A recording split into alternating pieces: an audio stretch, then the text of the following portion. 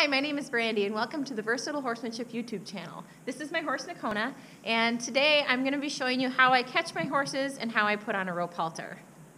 I don't want it to be too tight, but I don't want it to be too loose here. So I want you to think of like how guys wear their pants, for instance. You see kids walking around with their pants sagging way down. When a horse has its halter sagging down on their nose like that, that's how I view that.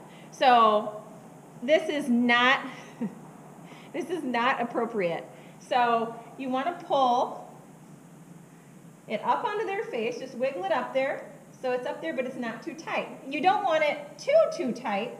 You don't want it way up like that, because think of that as having your pants too tight or hiked way up, okay? Frequently, when I send people out to catch horses, this is what I see. They go to catch a horse and they're walking behind it. As you're walking behind a horse, you're actually going to be driving them away from you. And this happens so frequently. So what you want to do is get in front of the horse. See how she stops as soon as I get to her shoulder? And get over on the horse's left side.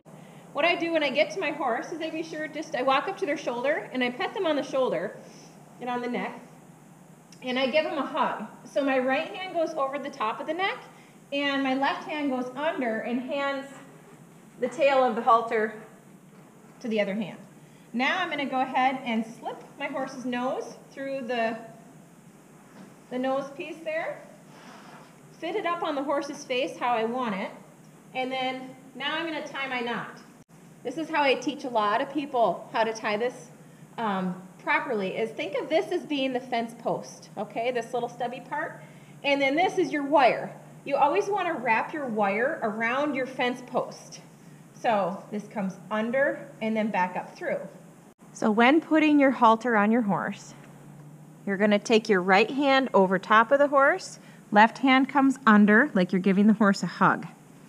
Then I take my nose band, put the horse's nose inside the nose band, and then cinch it up on the horse's face, or snug it up on the horse's face. Not too tight, but not too loose, just like you'd wear your pants. I'm going to put this is my wire. This is my fence post. I'm going to put my wire coming in from the backside.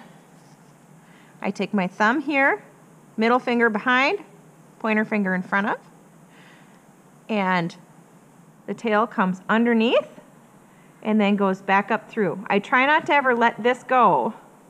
My right, my left hand, I try not to let my left hand go while I'm doing that. There, and then I just snug it up. I hope you found this video helpful. If you would like to see more videos like this, please be sure to subscribe to the Versatile Horsemanship YouTube channel.